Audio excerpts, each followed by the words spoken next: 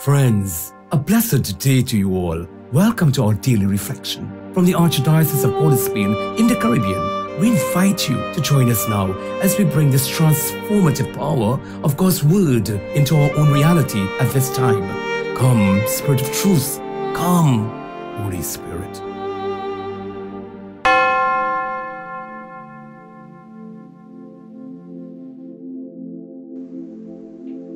A reading from the Holy Gospel according to Matthew 1 18 to 24. This is how Jesus Christ came to be born. His mother Mary was betrothed to Joseph, but before they came to live together, she was found to be with child through the Holy Spirit.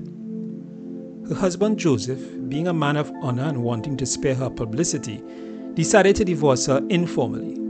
He had made up his mind to do this when the angel of the Lord appeared to him in a dream and said, Joseph, son of David, do not be afraid to take Mary home as your wife, because she has conceived what is in her by the Holy Spirit. She will give birth to a son, and you must name him Jesus, because he is the one who is to save his people from their sins. Now all this took place to fulfill the words spoken by the Lord through the prophet.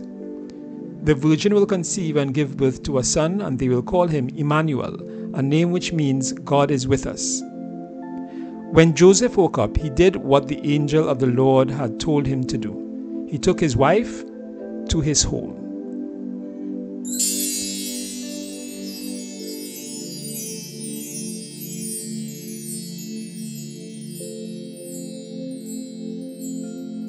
Quiet quitting.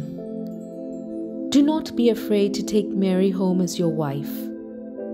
Quiet quitting is a new post pandemic term which means moving ourselves off the scene, withdrawing our enthusiasm without leaving our job.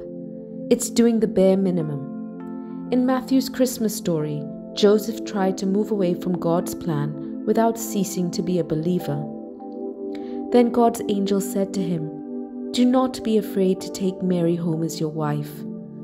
It was then that he realized that he was essential to God's plan. I must ask myself in what area of my life have I tried to quietly quit from God? Where do I see myself as absolutely unessential like Joseph? When did God send a reminder that I am, in fact, essential to His plan and should not be afraid to take Mary home as my wife?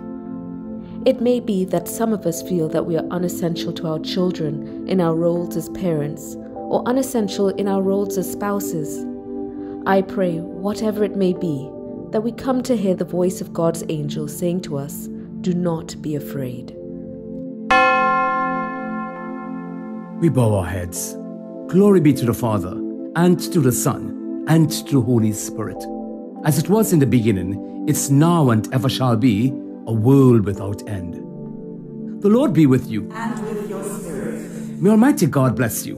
In the name of the Father, and of the Son, and of the Holy Spirit. May He come down upon you, remain with you, preserve you from that evil one, and grant you everlasting life. And the people of God say, Amen. Do have a blessed and pleasant day.